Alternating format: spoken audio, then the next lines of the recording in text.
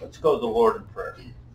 Heavenly Father, we thank you that you welcome us into your presence in worship and adoration and uh, surrender before you.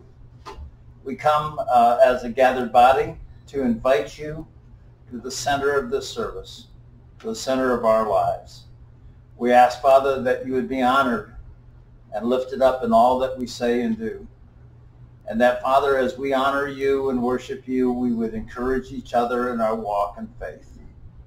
Uphold those who are discouraged. Encourage those, Lord, who are troubled. Humble us in all of our endeavors to know that we need you. So, Lord, we come to you in Jesus' precious name. And all God's people said, if you have your Bible, I'd like to invite you to turn to the book of Romans, the first chapter for our scripture reading, verses 7 through um, verse uh, 12. Romans 1, verses 7 through 12 for our scripture reading. To all who are in Rome, beloved of God, called saints, grace to you and peace from God our Father and the Lord Jesus Christ. First, I thank my God through Jesus Christ for you all that your faith is spoken of throughout the whole world. For God is my witness, whom I serve with my spirit in the gospel of his Son, that without ceasing I make mention of you always in my prayers, making request if by some means now at last I may find a way in the will of God to come to you.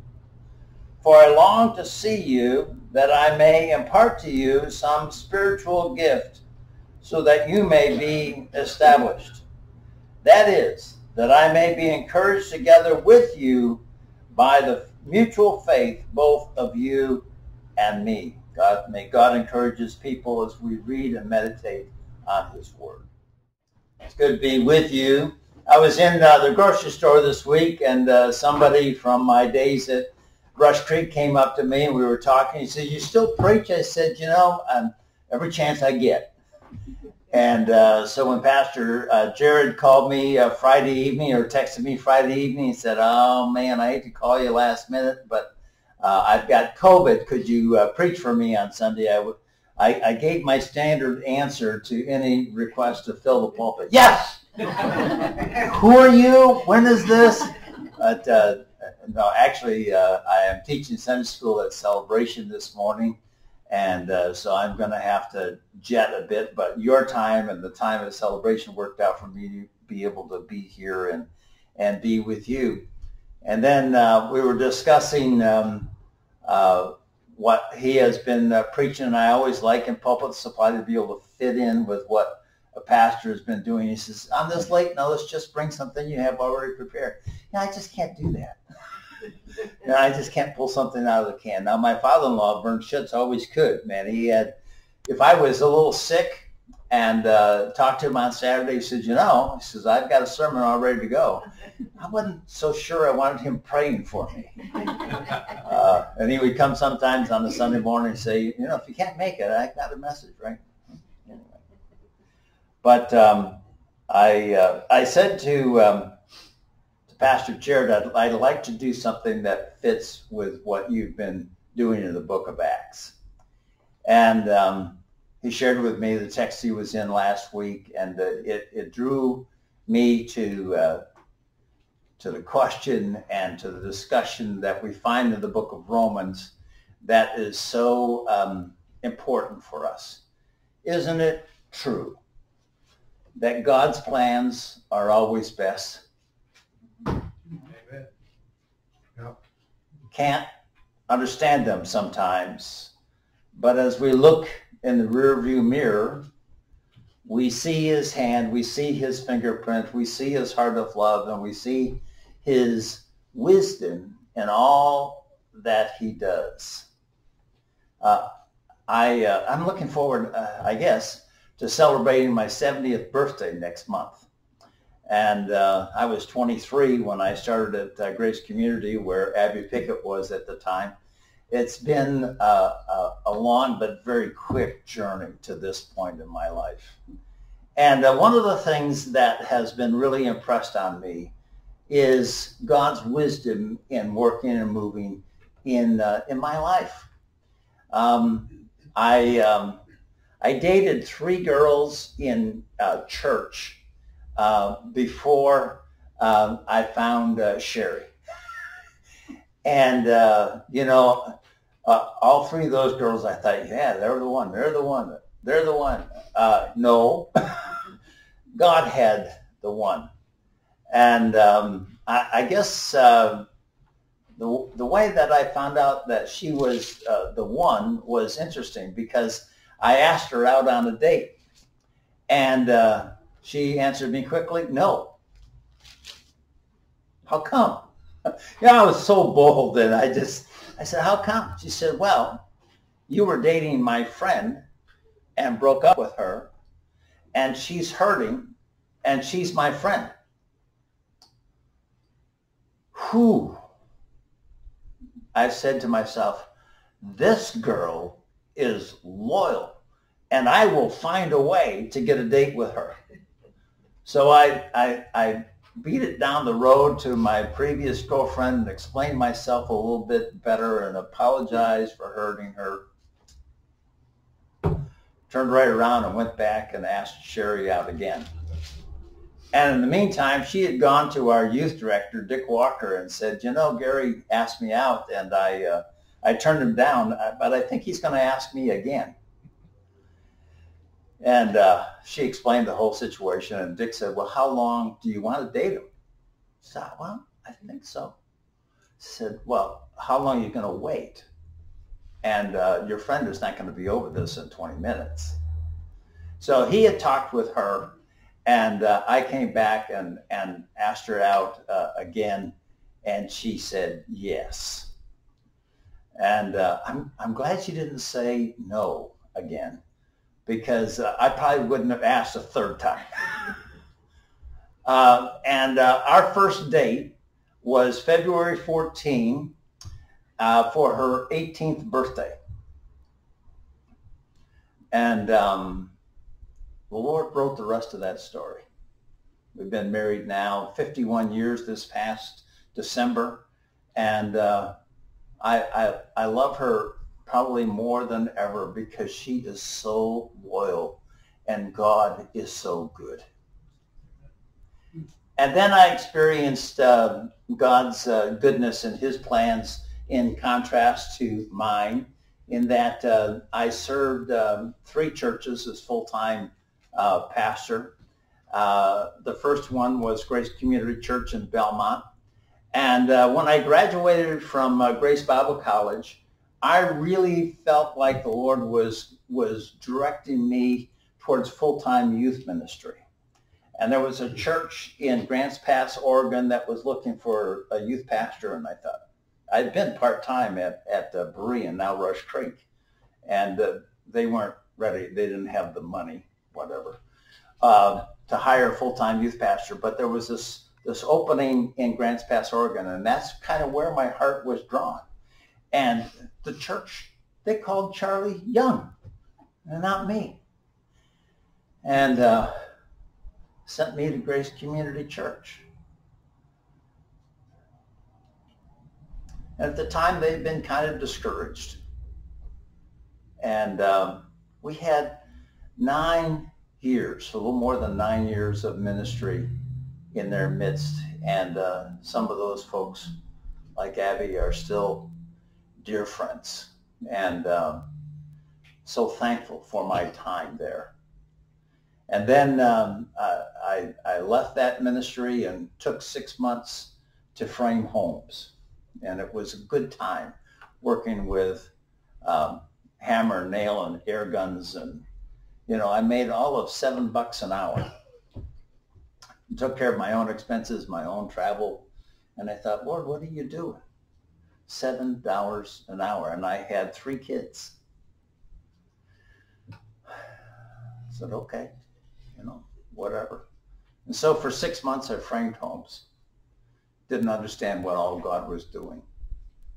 But, uh, you know, what was interesting is that what I learned framing homes though I only made $7 an hour, it has brought me, by the grace and kindness of God, tens of thousands of dollars in real estate.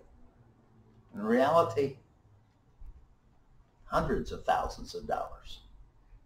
Because I learned something in a time where I needed to do something different.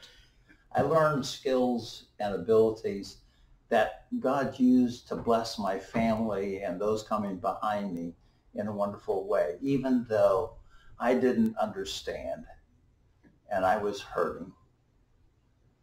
God had his way. And then we went to Phoenix, Arizona. Uh, I thought God was going to send me to Sioux Falls, South Dakota. You know, I'm a hunter, and it just made sense. Uh, God would send me to Sioux Falls, South Dakota, where I could preach and love people and hunt and hunt and hunt and hunt and hunt. God sent me to Phoenix, Arizona. I remember saying to Chuck O'Connor, said, Chuck, what do people do there for recreation? He says, they go to the desert. what? Um, God didn't send me to Sioux Falls, South Dakota. He sent me to Phoenix, Arizona. And we had nine and a half years of blessed ministry and saw a, a church turn around and, and move in a positive direction and still continues today in a positive direction. And then back in um, our old home church of Berean Bible Church, they went through a split in 1993. It was a mess. I remember my wife calling up her dad and saying, Dad, if they ask you to come and, and be interim pastor, I love you. Tell them no. Some of you who know my wife would know that that's not the kind of boldness that she's noted for. And she said, if they ask you to come back and be pastor again, I love you. Tell them no. And uh, then I got a phone call from Berean and said, hey, uh, we're wondering if you would uh, come and uh, just fill the pulpit for us. And I said, just filling the pulpit, right? Just preaching for a Sunday, right? He said, yeah. He says, now our pulpit is open, but we're just asking you to come and, and preach for us on a Sunday and also preach at um, um, what is now Frontline Church in the evening. Both churches are open and we're kind of working together for pulpit supply. Would you come? I said, uh, well, my family's there, and um, yeah, I, uh, let me ask my board. And uh, talk with the board, and I said, hey, uh, would it be okay if uh, if I flew to Michigan and preached at these two churches? They're looking for pulpit supply. I said, I know they're open. But all they're asking me for is pulpit supply. And the board said, sure, you can go. We know you'll never go there.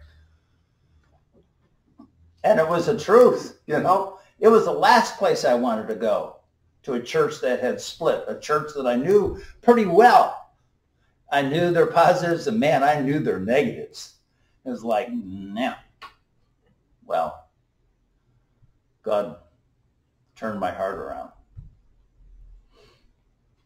turned my wife's heart around, and directed us uh, to go there. We had uh, 18 years with Berean now Rush Creek. And God in his sovereignty um, was, was kind to bless that ministry in, in wonderful ways. And it was our most uh, productive and positive of our, of our three ministries.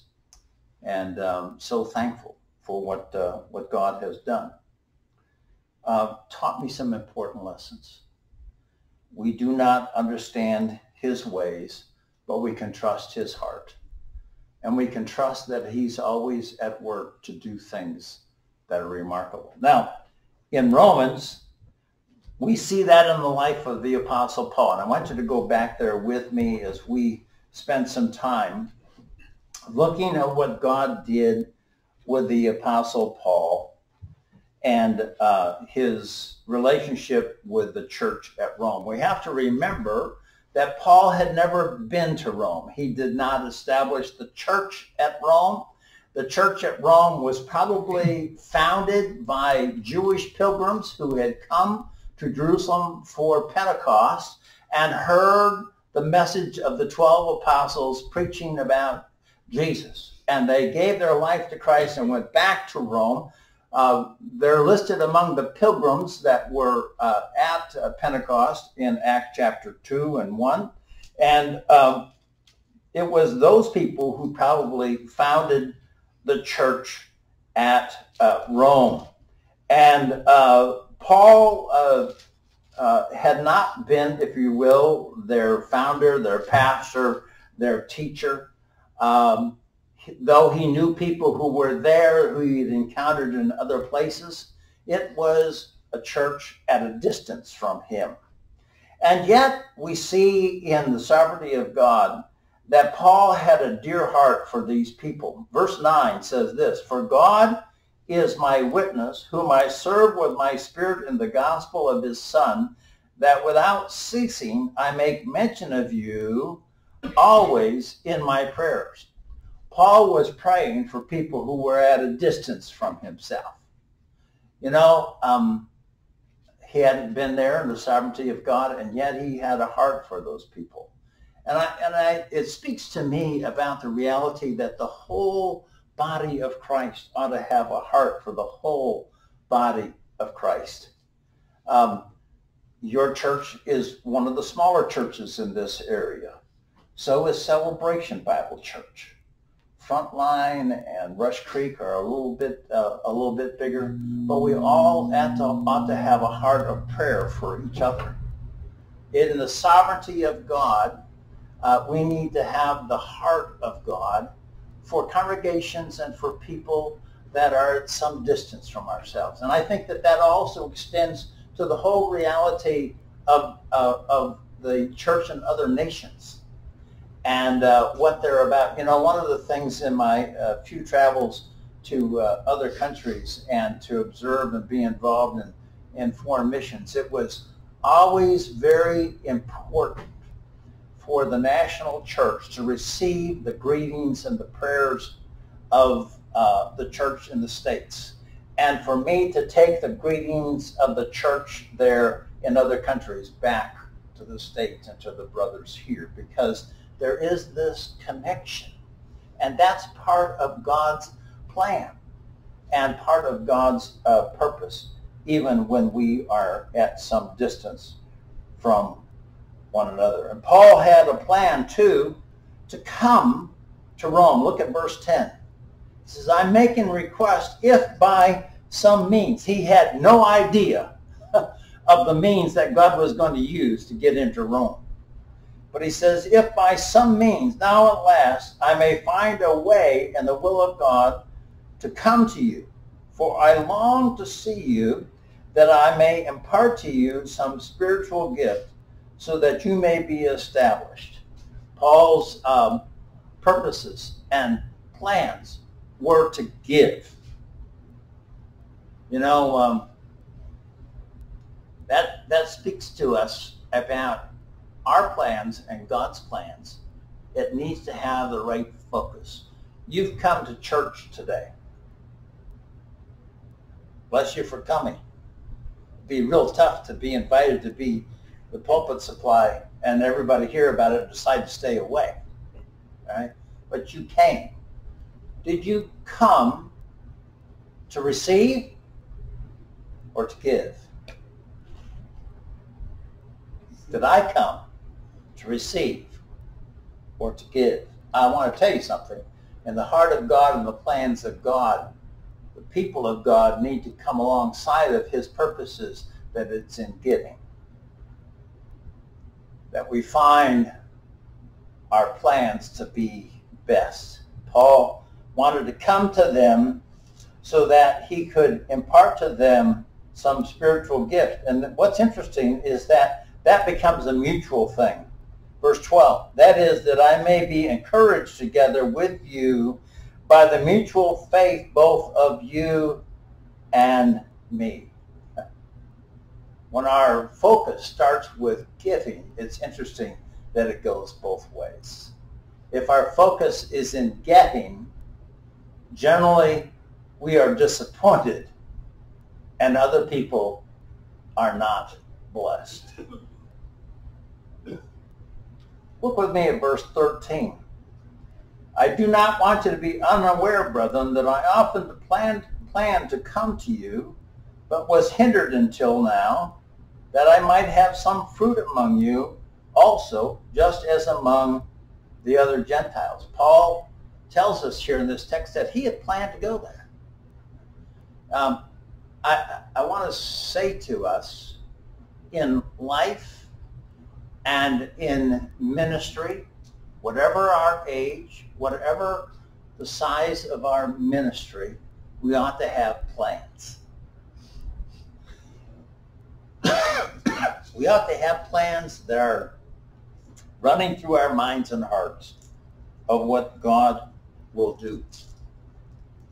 You know, someone has said, if you don't have a plan, you plan to fail. Paul said, I, I planned to come to you. He says, I was hindered in a variety of ways.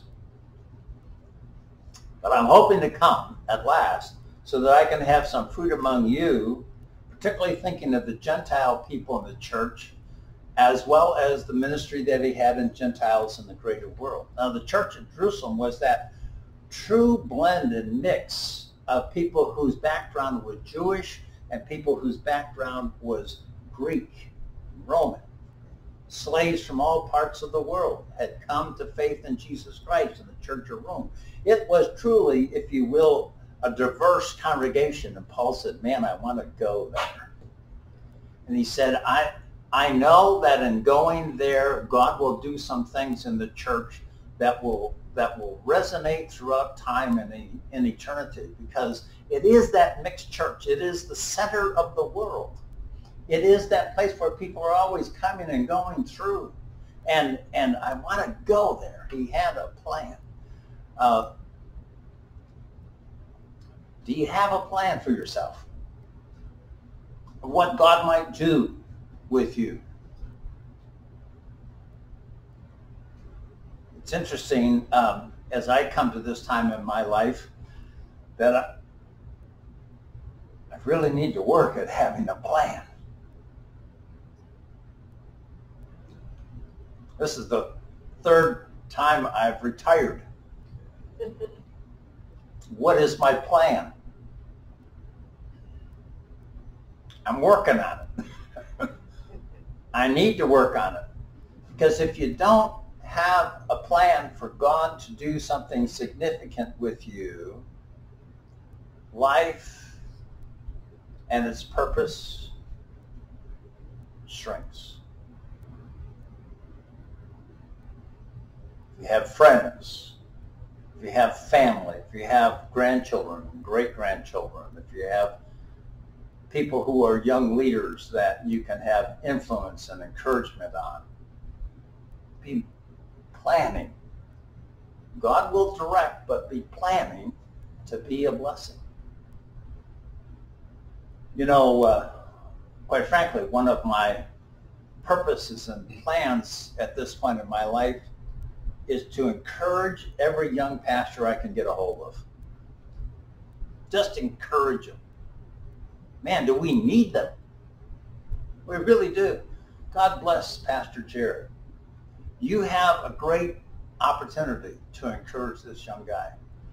Uh, one of the reasons I was looking forward to coming today was that Abby Pickett told me what a good preacher Jared is. That encouraged me to be an encouragement to him. And we'll be together again. I think it's the 23rd of February that the pastors group gets together.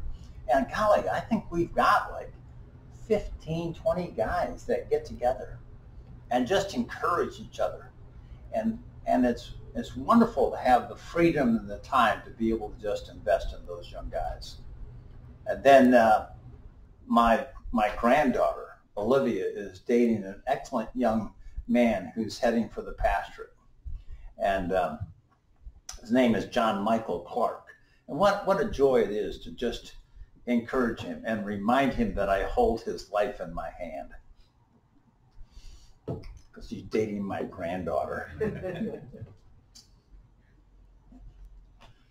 I said to him one time, I said, you know, you have a wonderful reputation, and I've heard you speak. I heard him speak at the graduation of GCU um, spring of 2022, and I was impressed. I said, I, was really impressed that you're an excellent young man. I just didn't know that you were so excellent that you would have the opportunity to date my granddaughter. Great guy. Do you have a plan?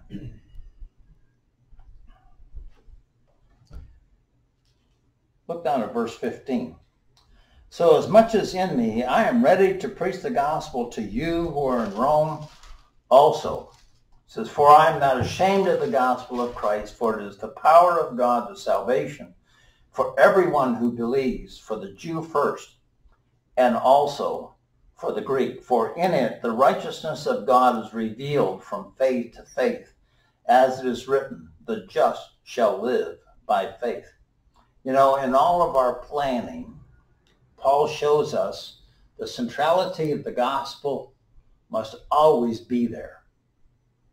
Always, always be there. You cannot move too far for the centrality of the love of God demonstrated in Jesus Christ in his death, burial, and resurrection, and that we need him.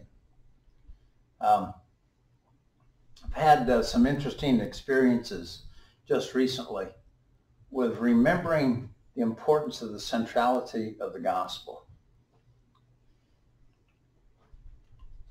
A little over a year ago, I had a friend um, call me up who had been part of Rush Creek and uh, involved there.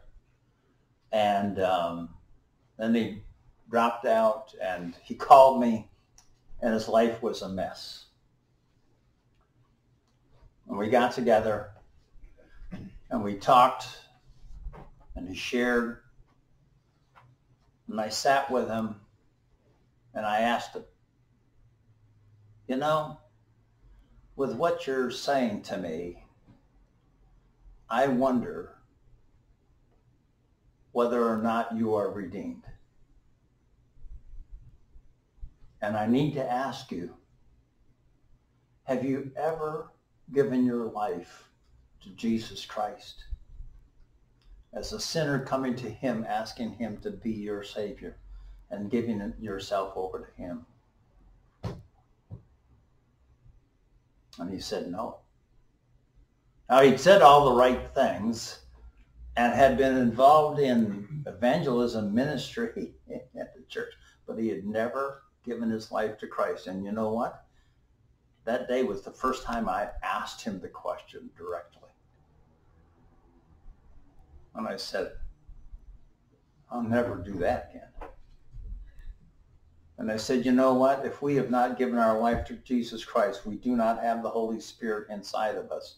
And if the Holy Spirit is not inside of us, we do not have the power of victory over those things that would destroy us. He gave his life to Christ, and it's made all the difference. And just in the last week, I sat with a young, young, well, you know, it's all relative nowadays. And he said, you know what?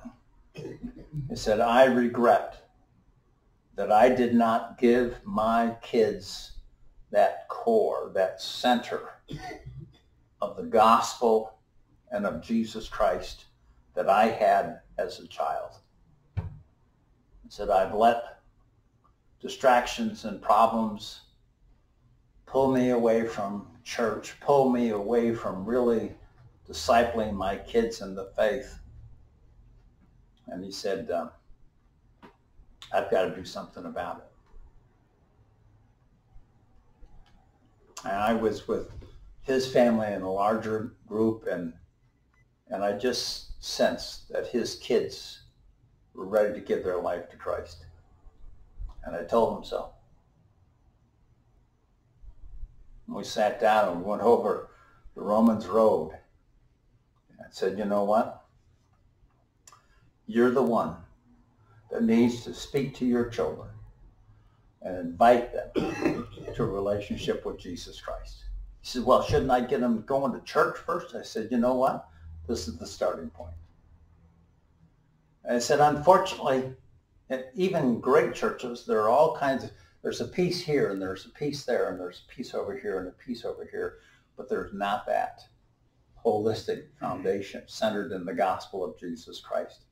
You need to start with your kids and their need of Jesus. And you can be the one to ask the question and to commit to discipling them in faith. And I gave him what I felt was probably the best resource for him to use in that. God had a plan, and that plan centered around the gospel. Well,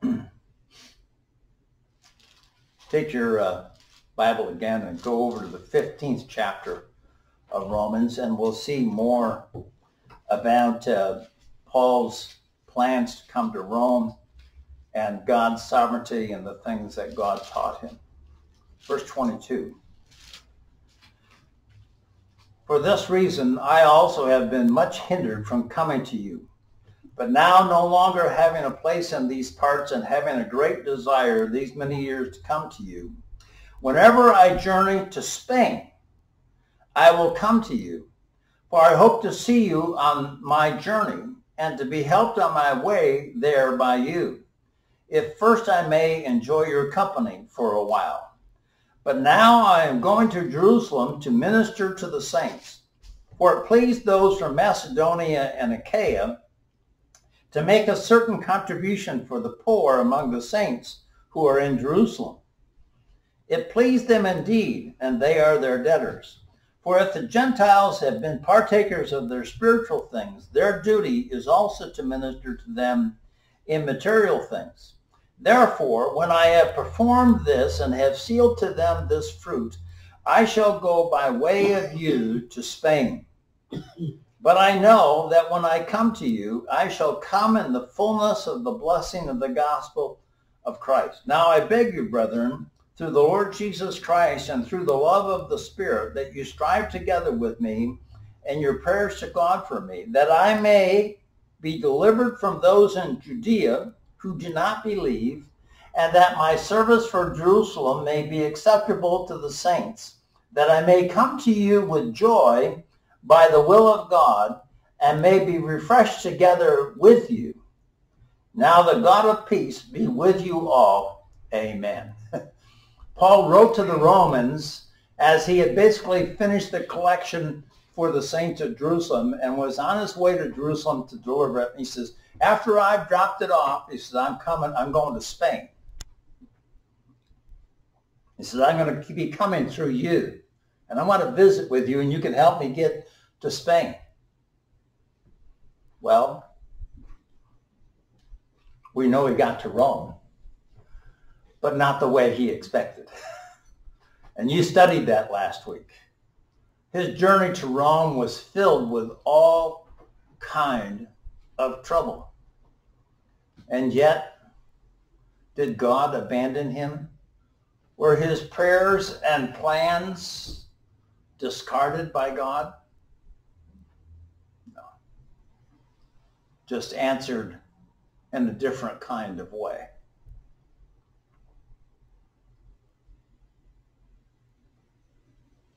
if you're going through hard times and there's pain and struggle that you did not plan on, do know that God has not forsaken you. Do know that he's still at work. And do know that he loves you. And that he is preparing and doing things for his glory that are truly good, even when you and I cannot understand.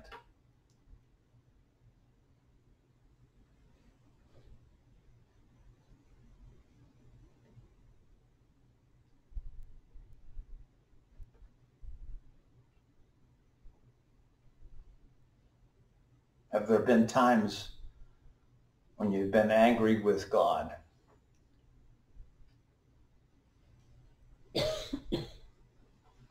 because though you had good plans and were pursuing those plans with the right heart, either the enemy or, or some of God's people have brought pain.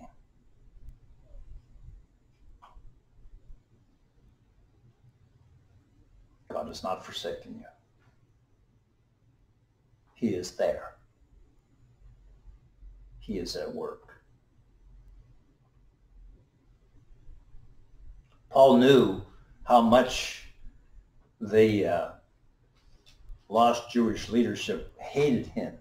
And they hated him because he said, everything that we need is in Christ and in his grace. It is no longer the law the law has been set aside, and that was that was something even more extreme than the Christian to Jerusalem had proclaimed that Jesus is the Messiah. And they saw what he was teaching about Christ and grace as a th- very threat to their very existence and their national identity. And they hated Paul. They misunderstood him in some aspects. But they hated him. Paul says, I'm going to Judea. I'm going to Jerusalem. You pray for me. You pray for me that the leadership at Judea and Jerusalem will not have their way. I wonder how Paul felt when they were ready to kill him outside of the temple. God, have you answered my prayer? And the prayer of Christians everywhere I've been and places I haven't been like Rome. They want to kill me right here. But in the midst of the mob, God, through a Roman um, military person, gave Paul the opportunity to preach the gospel clearly right outside the temple. And then, uh, you know, the Jews had a plot to, to kill him on the road between Jerusalem and Caesarea. They took a vow to not eat until they killed Paul. And God intervened and protected him. From the outside, it would seem like the people at Judea who hated Paul had their way, but no. God's hand set the shield and the limits beyond which they could not go. Because God told Paul, you got to go to Jerusalem and you'll get there. And he stood by him and comforted him.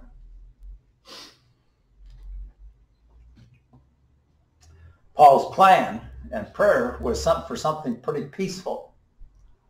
Didn't turn quite out turn out quite that way. But God, in his sovereignty, had a great and glorious plan.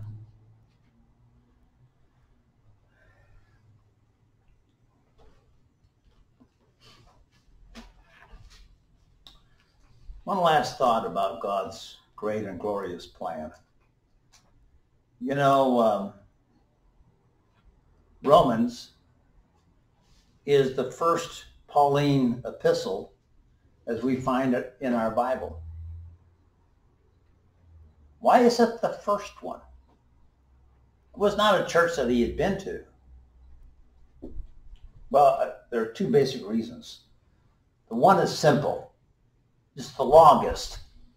And that's how they arrange the books in the New Testament Bible. Longest first, and then shortest, shorter following of the church letters. Well, what's interesting and wonderful about the book of Romans and the sovereignty of God and the planning of God and all that he did with Paul in the book of Acts and that we read about is that by writing to a church that he had not been to, he wasn't writing about a couple of key problems like he did with Corinth, Galatia, Colossians, First and Second Thessalonians. He was always dealing with a problem that needed a theological and practical approach from God. And that's why we have, if you will, this great foundational theological epistle. Because Paul was at a distance from the church at Rome, God directed him to write the undergirding theology for the church. Everything from creation to sin to redemption to victory to ministry to future hope is here in this book because God had a plan. And he had a person. And he worked in a powerful, powerful way. Though he was shipwrecked, though he suffered greatly, God had a purpose and a plan. And Paul surrendered to that purpose and plan, even though it was a bit different from his own. And God encourage you and your congregation as you live and serve on purpose for him. God will direct. God will use as only he can. Father, we thank you that you are faithful and true and good and wise, full of love. And we say yes, Lord, to what you have for us, for your glory.